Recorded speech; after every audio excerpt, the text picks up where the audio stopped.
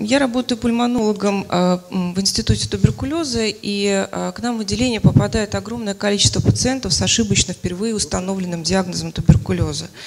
И в последнее время все больше и чаще и чаще мы встречаемся именно с легочными васкулитами.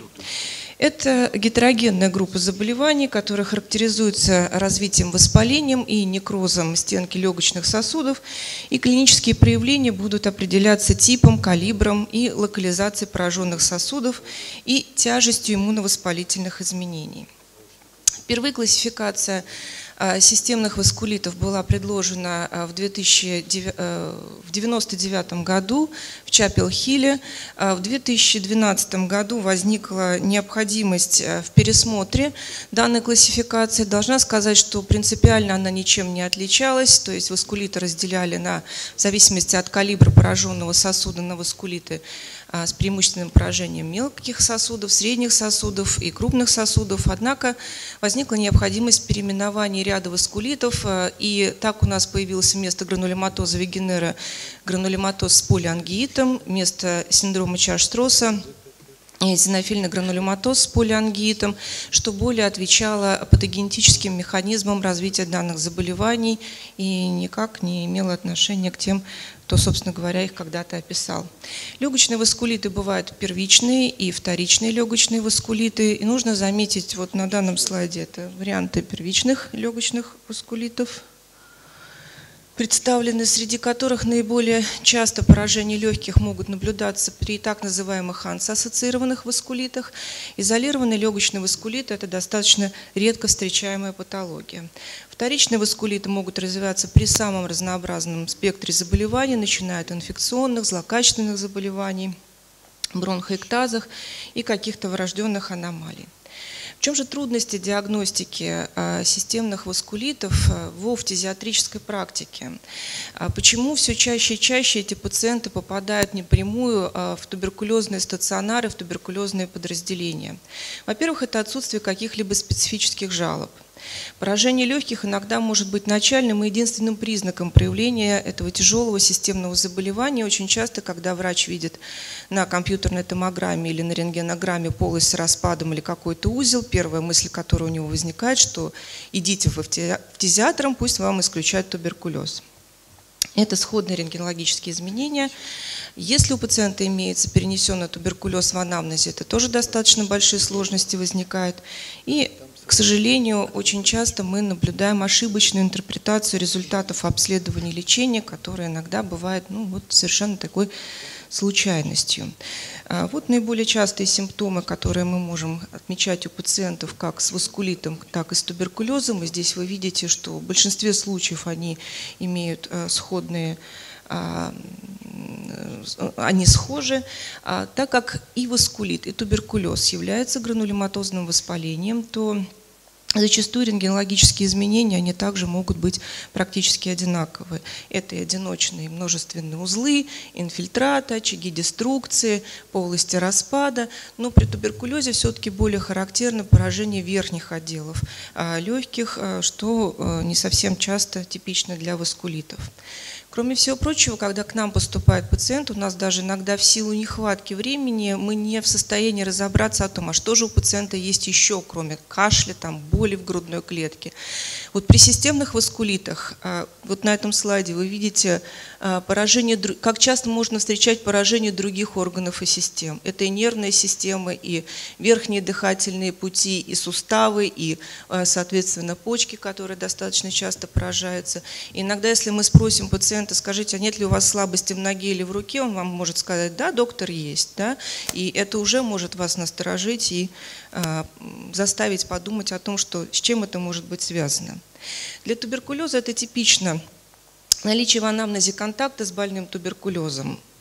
Не всегда, но очень часто положительные пробы МАНТУ и диаскин-тест – и основным критерием постановки диагноза туберкулеза является все-таки обнаружение ДНК микобактерий туберкулеза или самих микобактерий э, туберкулеза в мокроте или других биологических субстратах. Вот если у вас пациент э, с полостью распада или с инфильтратом сдает многократно мокроту, и вам пишут, что нет у вас ни ДНК микобактерий, ни микобактерий туберкулеза, Не надо ему говорить, что вот вы все равно идите к фтизиатрам, а вдруг это туберкулез. Вот в нашей клинике центрального НИИ туберкулеза за последние 4 года а среди практически 1300 э, пациентов, у 14 пациентов мы диагностировали системный васкулит, в том числе с поражением легких. Причем системные васкулиты достаточно тяжелые, и некоторые из них закончились ну, достаточно печально. Первое наблюдение. 35-летняя жительница города Москвы стала отмечать рецидивирующее кровохарканье алой крови и боли в грудной клетке. В поликлинике по месту жительства ей был установлен диагноз пневмония, и она принимала антибиотики широкого спектра действия, но а, без какого-либо эффекта. Ей была выполнена компьютерная томограмма, не знаю, вам видно или нет, ну вот мы получили такое описание, что легочный рисунок усилен за счет, э, мелких, мел, за счет мелких сосудистых теней. Здесь вот, если присмотреться, то можно увидеть. Диаметр магистральных сосудов не был изменен, лимфатические узлы не увеличены, но тем не менее был заподозрен диссеминированный туберкулез легких. Пациентке абсолютно нормальное дыхание, был выполнен анализ мокрота, где не найдено ни кум, ни ДНК, методом ПЦР туберкулиновые пробы также все одинак... Э, отрицательные. В анализах крови обращала внимание ускоренная соя 50 что иногда не очень типично для туберкулеза, и незначительное повышение С-реактивного белка. Пациентке была выполнена бронхоскопия не с целью даже возможной верификации диагноза, э, а большей частью для исключения именно туберкулезного процесса. Была выявлена выраженная эктазия сосудов слизистой крупных бронхов. В материале э, через бронхиальной биопсии выявлена диффузная лейколимфоцитарная инфильтрация в стенке сосуда с формированием очагов мукоидного набух... Ой, извините легкости мукоидного э, набухания и эзинофилия стенки бронхи и прилежащего к нему э, сосуда. На основании этого был исключен диагноз диссеминированного туберкулеза, установлен диагноз изолированного легочного васкулита, вероятнее всего вторичного генеза, но пациентка была отправлена на консультацию к ревматологам для дальнейшего обследования. Следующее наблюдение а, уже более печальная. Это женщина 61 года, жительница Кабардино-Балкарии, которая когда-то а, перенесла а, очаговый туберкулез а, в юном возрасте. Она получала противотуберкулезную терапию по первому режиму в течение 6 месяцев с клиническим излечением. И в августе 2012 года, то есть спустя 17 лет после перенесенного туберкулеза, у нее появился кашель, серозно-гнойная мокрота и повысилась температура до фибрильных цифр. Была начата терапия антибиотиками широкого спектра действия, которая не оказала должного эффекта. И учитывая анамнез, регион жительства, пациентке был установлен диагноз инфильтративного туберкулеза легких в фазе распада и обсеменения МБТ-. И вот ее рентгенологическая картина, где вы можете видеть множественные участки инфильтрации, а, узлы с распадами, а, как вы видите, большинство из них находится не в верхних отделах легких. И очень трудно предположить, что при таком процессе у пациентка не будет выделять микобактерию туберкулеза. Однако, тем не менее, диагноз ей был установлен в анализе крови. Незначительный лейкоцитоз, резко повышенная соя, при многократном исследовании мокроты ни КУМ, ни ДНК не были обнаружены. Рост МБТ не был выявлен. У пациентки была э, проблема с глазами. Она была консультирована офтальмологом, выявлен блефороспазм, инфильтрация конъюнктивы и расплавление склеры. Простите, пожалуйста. Ей была начата э, противотуберкулезная терапия первоначально по первому режиму четырьмя основными противотуберкулезными препаратами. Однако через два месяца лечения отмечалось нарастание выявленных изменений. Это при отсутствии а, какого-либо микробиологического материала было расценено как наличие шелу туберкулеза, учитывая перенесенный туберкулез и опять-таки регион. И пациентке была начата химиотерапия по четвертому режиму леофлоксацин, терезидон, протеономид, пирозинамид и ПАСК, которые она получала в течение четырех месяцев.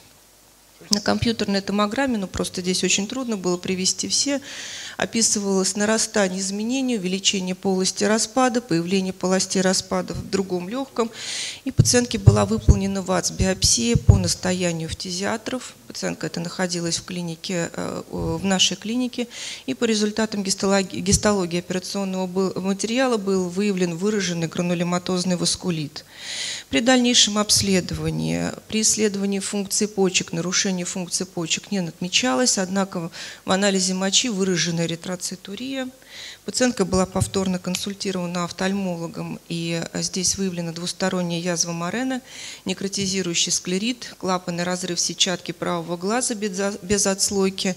Пациентка сдала а, АНС, они были отрицательные, однако на основании имеющихся изменений в легких при рентгенограмме, а, наличия выраженной эритроцитурии а, и данных биопсии. Пациентке был установлен диагноз гранулематоза с полиангиитом с поражением легких и глаз, санци-негативный, двусторонняя язва Морена, некротизирующий склерит, клапанный разрыв сетчатки и э, данная пациентка, она была отправлена в первую очередь к офтальмологам в клинику, потому что там стоял большой вопрос о сохранности ее э, зрения и глаза как такового самого. Далее пациентка была отправлена на лечение к ревматологам. И последнее наблюдение – это 76-летняя жительница города Москвы, в 2005 году у нее был установлен диагноз бронхоэктатической болезни, обострения отмечались не чаще одного раза в год, прекрасно лечились антибиотиками. Однако в январе 2015 года у нее появился непродуктивный кашель, слабость, э, снижение чувствительности в левой и нижней конечности, повысилась температура до фибрильных цифр. Точно так же был установлен диагноз обострения бронхоэктатической болезни, возможно, внебольничной пневмонии. Проводилась. Э, антибактериальная терапия – опять-таки без эффекта. И в апреле 2015 года ей была выполнена компьютерная томограмма, где были выявлены множественные инфильтраты в легких и описывалось периферическое образование в левом легком, на основании чего была заподозрена периферическая опухоль злокачественная. Пациентка была направлена в институт Блохина. Э, где ей была выполнена бронхоскопия, по результатам которых исключен э, злокачественный процесс, но ей было сказано, вы исключите туберкулез, а опухоль у вас все равно рано или поздно найдется, вы вернетесь к нам. Ну, это вот прям буквально, да. Это компьютерная томограмма этой пациентки. Э, периферическое образование, вот рентгенолог нам ответил, отметил э, тот, от, от которого она пришла, это вот, вот в этом месте. Здесь вы можете видеть инфильтраты множественные с двух сторон. Здесь даже есть какие-то элементы распада. В клиническом анализе крови у пациентки было ускоренное СОЭ 120-170 мм в час. Опять-таки, я повторюсь, это не типичный признак для туберкулезного процесса. Резко повышенные уровни С-реактивного белка, выраженная эритроцитурия, в мокроте многократно КУМ и ДНК микобактерий не найдены, рост МБТ не получен. Пациентка была обследована на АНС, у нее выявлен повышенный титр иммуноглобулин G, преимущественно цитоплазматического типа свечения, и при бронхоскопии выявлены стенозы многочисленные как слева, так и в правом, э, лег, э, в правом бронхиальном дереве, и определялись участки дистолектаза легкого с э, артефактами сосудов.